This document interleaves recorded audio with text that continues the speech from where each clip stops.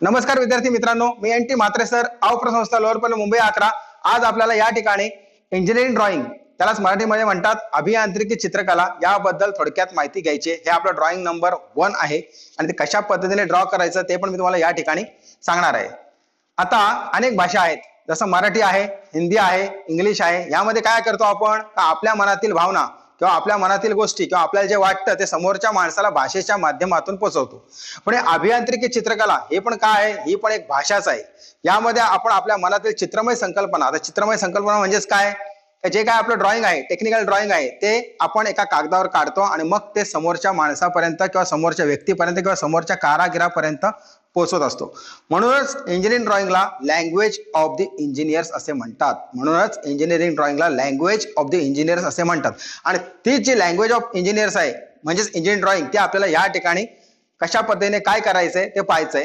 सर्वात प्रथम मी तुम्हाला थोडक्यात ओळख करून दिली. आता हे प्रत्यक्ष कसं ड्रॉ करायचंय किंवा आपल्याला जे ड्रॉइंग नंबर वन आपलं मेन काय असतं का? आपल्याला ड्रॉइंग नंबर वन ड्रॉ करावं लागतं. कशावर? तर ए फोर साईजच्या पेजवर ते कशा पद्धतीने काढायचंय तुम्हाला मी या ठिकाणी सांगणार आहे. सर्वात प्रथम बघूया आपण या इथे दिलेलं आहे इंजिनिअरिंग ड्रॉइंग म्हणजेच अभियांत्रिकी चित्रकला. त्यामध्ये आवश्यक साधनं काय काय आहेत? तर ए फोर साईजची स्केचबुक याची सगळ्यांची तुम्हाला माहिती देणार आहे. Thirty sixty ninety set square forty five forty five ninety degrees set square सर्व मराठीमध्ये लिहिलेले आहे तुम्हाला कळण्याकरता. Compass scale pro circle eraser lead pin pencil french curve drawing board and T square अनेक साधनं आहेत त्यातली काही साधनं मी तुम्हाला या ठिकाणी आता दिलेली आहेत. आता बघा इथे दिलेलं आहे इंजिनिअरिंग ड्रॉइंग आपण अनेकदा इमारतीचे चित्र पाहतो किंवा निसर्ग चित्र पाहतो. इमारतीचे चित्र म्हणजे एखाद्या बिल्डिंगचं आपण चित्र बघतो निसर्ग चित्र म्हणजेच काय? झाड पान फुलं डोंगर दर्या ही चित्र आपण लहानपणी किंवा आठवी नवी दहावीला आपण स्केचबुकमध्ये काढलेली आहेत. ही चित्रे आर्टिस्टने काढलेली असतात. त्यामध्ये रंगाच्या विविध शेडचा उपयोग केला जातो. अशा प्रकारच्या ड्रॉइंगला आर्टिस्टिक ड्रॉइंग असे म्हणतात. आता आर्टिस्टिक ड्रॉइंग म्हणजे काय?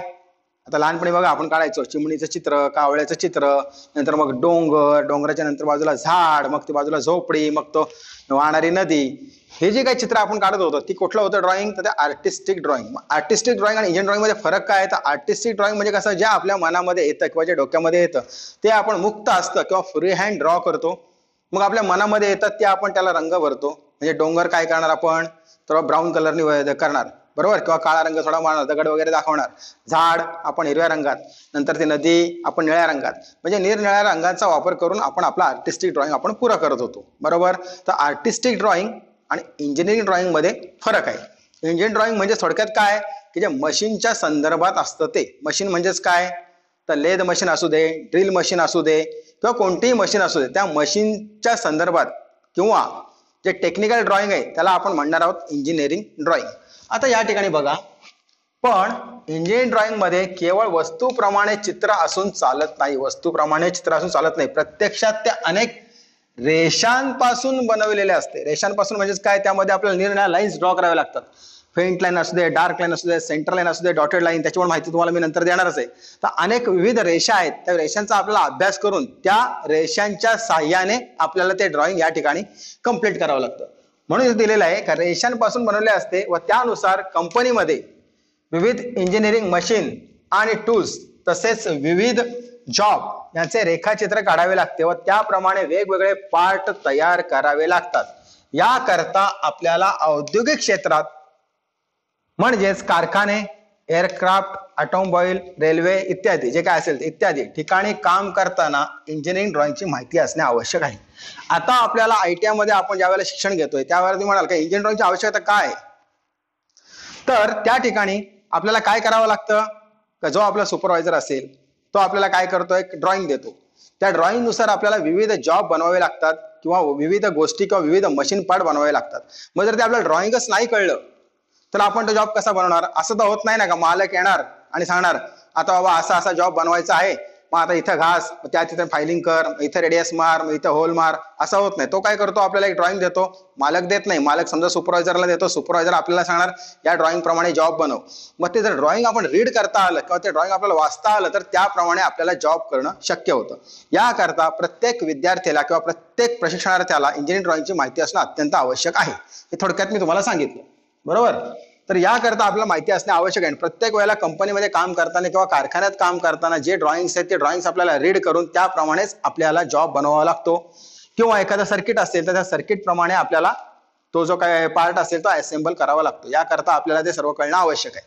आता याच्यामध्ये बघा काय कंटेंट दिले मी सिलेबस दिलेलं नाहीये ते कंटेंट्स कारण आता या कंटेंट्समध्ये मध्ये मध्ये कसं आहे? इलेक्ट्रॉनिक्ससाठी वेगळा आहे. आयसीटी एस एमसाठी वेगळा आहे. वेल्डर करता वेगळा आहे. फिटर करता. म्हणजे मेकॅनिकल ग्रुप इलेक्ट्रिकल ग्रुप हे जे काही ग्रुप केलेले आहेत या ग्रुपनुसार त्यामध्ये थोडं व्हेरिएशन्स आहे. आता जो सिलेबस तुम्हाला आवश्यक आहे तो सिलेबस मी तुम्हाला डिस्क्रिप्शन बॉक्समध्ये देणार आहे. त्यामुळे प्रॉब्लेम नाही. पण त्यामध्ये साधारणपणे मेन जे कंटेंट्स आहेत ते कंटेंट्स या ठिकाणी मी दिलेले आहेत. बघा आता या ठिकाणी. काय दिलेत कंटेंट्स तर ड्रॉइंग इन्स्ट्रुमेंट्स जे इथे दिलेले आहेत नावं ती त्याचं मी तुम्हाला व्यवस्थित एक्सप्लेनेशन करणारच आहे. नंतर लेटरिंग अँड नंबरिंग त्यानंतर दिलंय types of lines geometrical figures projection of lines planes and solids section of solid development intersection engineering curves orthographic views isometric views oblique views threads त्यानंतर दिलंय फास्टनर्स म्हणजेच rivet bolts nuts hand tools symbols and circuit diagrams काय केलं फक्त? वाचून दाखवलं. काय विशेष केलं? काहीच नाही. मला फक्त तुम्हाला आता या ठिकाणी या व्हिडिओमध्ये फक्त इंट्रोडक्शन द्यायचं आहे कारण सर्व जर तुम्हाला एक्सप्लेन करत बसलो तर हा व्हिडिओ कमीत कमी एक तासाचा होईल. त्याकरता मी तुम्हाला फक्त आता इंट्रोडक्शन दिलेलं आहे. हे तुम्ही समजून घ्या. त्यानंतरचा पुढचा व्हिडिओ आहे तो मी तुम्हाला डिस्क्रिप्शन बॉक्समध्ये देणारच आहे. तर आजच्यासाठी इथेच थांबू. धन्यवाद.